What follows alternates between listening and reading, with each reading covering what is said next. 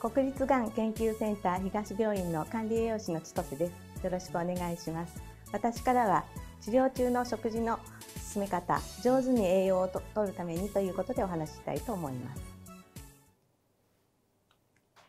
食べることが大事だということは皆さんご存知だと思います。必要栄養量を確保する。体の機能を維持する。治療によって障害を受けた組織の再生を行う。また空腹を満たす。味覚を満たす。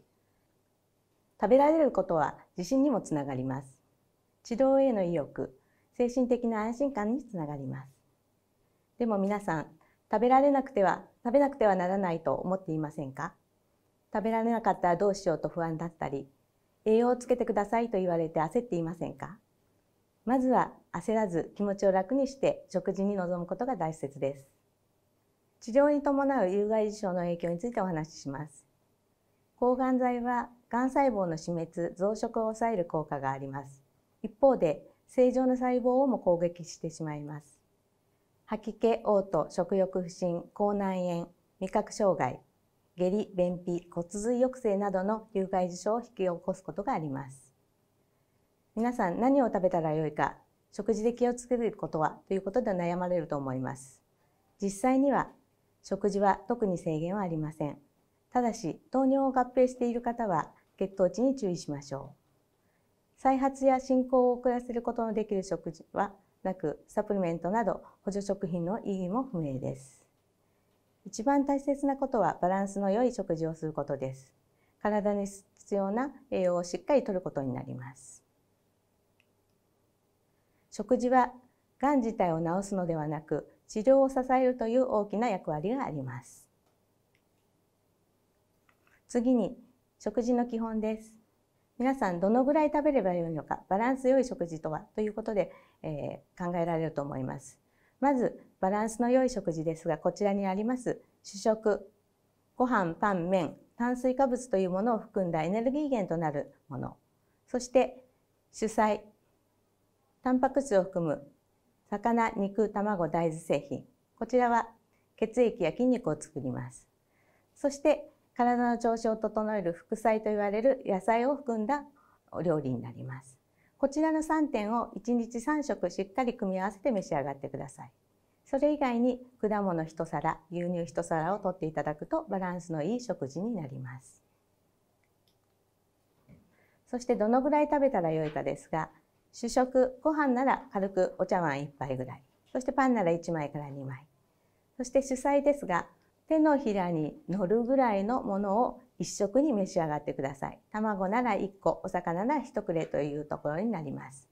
そしてそれ以外に野菜を、えー、片手に山盛りの生野菜か、えー、加熱した野菜で手で覆うようなぐらいの量を召し上がっていただき、料理にすると2、3品になります。それ以外にお好きな時間に果物や牛乳を召し上がってください。バナナなら1本ぐらい。そして牛乳ならコップ1杯、ヨーグルトでも構いません。食事をする時の共通のポイントをお話しします。まずは体調の良い時間帯に食べること。そして食べられるそうなものを、食品を選ぶことになります。また、多く食べられない場合は少しにして回数を増やしましょう。また、いつでも食べられる軽食や果物を手元に用意するようにしてみてください。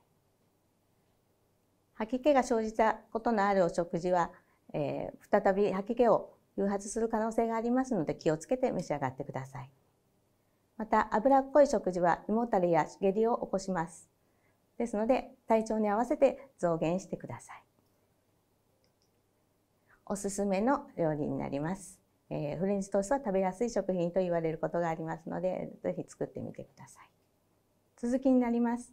また、刺激の強すぎるもの、味の濃すぎるもの、熱すぎるもの、冷たすぎるもの、匂いの強いもの、こういったものはムカつきの原因になります。適量で摂取するようにしてください。また、食が進む爽やかな香りをうまく利用してください。レモンなどの柑橘類やしそ、生姜、わさびなどの香味野菜も食べやすいものになります。アルコールについては医師と相談してください。また、口当たりのよく飲みやすいもの、飲み込みやすいものを食品選択してください。食感に水分をこまめに取るように心がけてください。一番は楽しい雰囲気でお食事をとっていただくことになります。楽しい雰囲気の中で食後はゆったり過ごしてください。症状別のお話をします。口内炎です。口内炎の場合は刺激を避けるようにしてください。辛いものだけではなく濃すぎる味、熱いもの、硬いもの、張り付くものも刺激になります。また簡単に潰せる柔らかい食形態に調理をしてください。水分の多い滑らかな料理を選択するようにしてください。口腔内の乾燥を防ぐケアもとても重要になります。清潔に保つように心がけてください。次に味覚障害の場合です。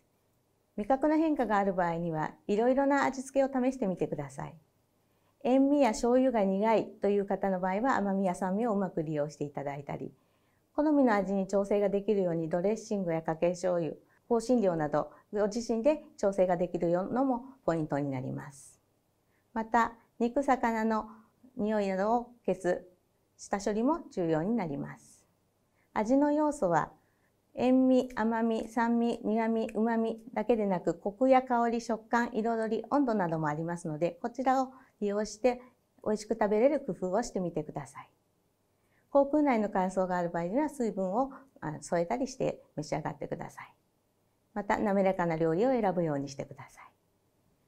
人によってはスプーン等の金属製の食具で苦味を感じる場合があります。その場合にはプラスチック、木製、陶器等に変えてみるようにしてみてください。おすすめの、えタレになります。下痢のある場合です。こちらの場合は刺激の強い食品を避けるようにしてください。先ほどの口内炎で説明したものと同じになります。また、温かく消化の良い食品を選ぶようにしてください。それと、ゆっくりよく噛んで食べてみてください。腸内環境を整える乳酸菌や、えー、食物繊維を含んでいる食品を選んで摂取してください。こちらおすすめの、えー、メニューになります。それ以外にも、こまめに水分を取るようにしてください。下痢の時には体の外に水分が出ていってしまいますので、補給が必要になります。水が取れない場合には、えー、病院に相談してみてください。便秘の場合です。便秘の場合にも食物繊維が重要です。水溶性と不溶性に富む食品をしっかりとってください。また水分を積極的にとってください。あと腸内環境を整える乳酸菌食品も有効です。あと適度に脂肪を摂ることは重要です。排便時に潤滑油となります。また規則正しい食生活は良い排便を促します。散歩や運動などをしていただいたり、おトイレは我慢しないようにしてください。こちら、えーと、おすすめの、えー、ヨーグルトを使った料理になります。症状別で骨髄抑制についてです。白血球の減少についてお話しします。白血球の減少がある場合、医師から特別な指示がない限りは一般的な食品の衛生的な取り扱いで大丈夫です。果物や野菜をしっかりよく洗ってお使いください。また、新鮮な食材を選択するようにしてください。賞味期限、あと、えっ、ー、と、開封してから早く使い切るように心がけてください。また冷蔵冷凍保存をしっかり温度管理をして保存してください。実際には白血球を増やす食事というのはありません。体力維持のためにしっかり食事をとることが一番大事になります。そして調理、食事の前、この時には必ず手洗いを徹底するようにしてください。